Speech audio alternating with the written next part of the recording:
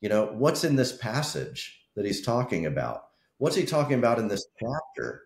And to fully understand what he's saying in this chapter, you have to understand what he's saying throughout this entire book. And then ultimately, of course, to understand John's point in the book of John, you have to know all of scripture and understand it in the context of this entire story. And so I kind of started doing that. And I was like, all right, here's a question for you.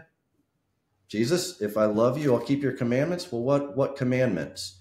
And I could go all through scripture. Now, what a lot of people do, they'll go to Leviticus. It's like, oh, you're not keeping, you know. But but again, what's the context? So so I looked, I was like, what commandments, what was the author's intent? What did John intend to get across to me by recording Jesus saying, if you love me, you'll follow my commandments?